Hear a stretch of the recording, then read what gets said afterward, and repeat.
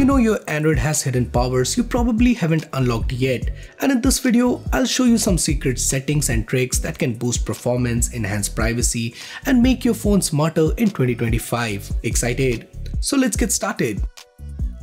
Have you ever lent your phone to a friend but worried they will stumble onto something personal? Do you know you can fix that with this amazing setting known as private space?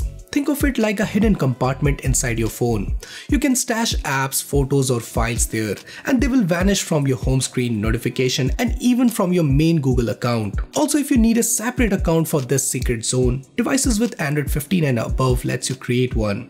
So nothing mix up with your regular stuff. And here is how it works. First set up a screen lock which is required. Then go to setting, then privacy and security and tap private space. Now follow the prompt to create a unique pin. Once done, a tiny lock screen icon appear at the bottom of the app drawer. Tap it and enter your pin and boom, your private apps and data appears. To hide it completely, simply turn on hide private space in the setting. It will only show up if you search for it by name. Have you ever tried juggling two apps at once on your phone, like keeping notes open while replying to emails?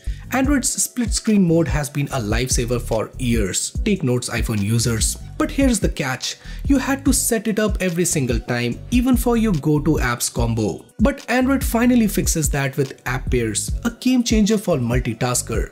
And here is how it works. Simply open two apps in split screen like usual. Now swipe up to your recent app menu, press and hold the two app icon at the top and you will see a new Save App Pair button. Tap it and boom, a shortcut pop up on your home screen.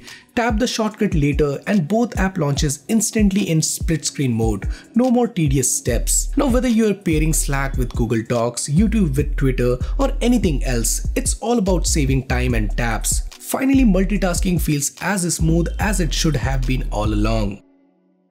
Have you ever started a screen recording on your Android phone and realized later you accidentally showed a text or notification you didn't mean to? Super annoying, right? But you can now fix this with a neat trick.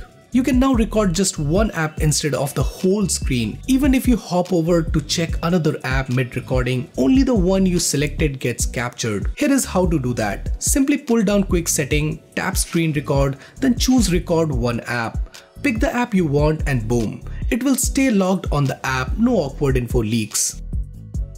Are you running low on the storage but don't want to delete apps? Android Apps Archiving feature is a perfect solution. It lets you free up space without losing app data, so you can bring app back instantly, no need to set them up again. Unlike Play Store's Auto Archive, which removes app at random, this feature gives you control. Just go to an app info page, tap archive, and it shrinks into a lightweight version while keeping your data intact. Need it again? Just tap to restore and it's back. No hassle, no re-login. This is super useful in daily life. Say you just need extra space to download a big video or update an app. Just archive the ones you don't use often instead of uninstalling them. It's a great option for keeping seasonal apps like text filing tools or traveling planners without wasting storage year around. Think of it as digital storage on demand. Your app stays within reach, but your phone stays clutter free. Now, if you're planning to keep your phone for a longer period of time, there is a good news for Android 15 users because it introduces a new 80% charging limit to help extend battery lifespan. Now you might know battery degrades over time and constantly charging it to 100% speeds up the process. While adaptive charging slows down charging after 80%, this new feature stops charging completely at 80%, reducing wear and keeping your battery healthier in the long run. To enable it, simply go to setting, then battery, then charging control. Toggle on use charging optimization, then select limit to 80%. This is especially useful if you keep your phone plugged for longer period of time, like while gaming, working at desk, or overnight charging. If you don't always need a full charge to get through the day, this small tweak can make a big difference in preserving battery life over the year. Now, if you're worried about phone theft, Android is stepping up security with new anti-theft features designed to keep your device safe even if it gets stolen. Now, one of the biggest addition is the theft detection lock. Using AI, your phone can now detect sudden motion like if someone snatches it and run, then instantly lock the screen. It will auto lock if it's offline for too long or if there are too many failed unlock attempts.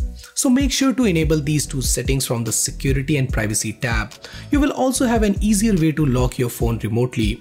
And here's the best part, with Android 15 and above, thieves won't be able to reset your device without your Google account credentials. So even if they try to wipe it, they are locked out.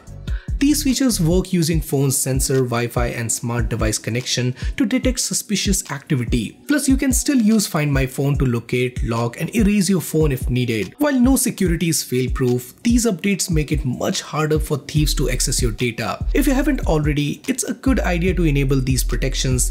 They could save you a lot of trouble. Have you ever been stuck at checkout because your phone default to Google Wallet when you really need to use your bank's app? Android 15 fixes that because there is a simple trick where you can now set any payment app as your default to tap to pay. Now you might be thinking why does this matter? Let's say you are traveling and Google Wallet isn't accepted locally. Just set up your preferred regional app once and it will automatically pop up every time you tap to pay. No more fumbling through menus while holding up in the line or maybe your bank apps gives better rewards. Make that your go-to for coffee run and transit fares. So guys these are some of the secret Android settings that you should definitely give a try. If you think we have missed any other setting, do let us know that in the comments down below. And for more future videos like this, do consider subscribing and hit that bell icon so that you never miss any future videos from Xtream Droid.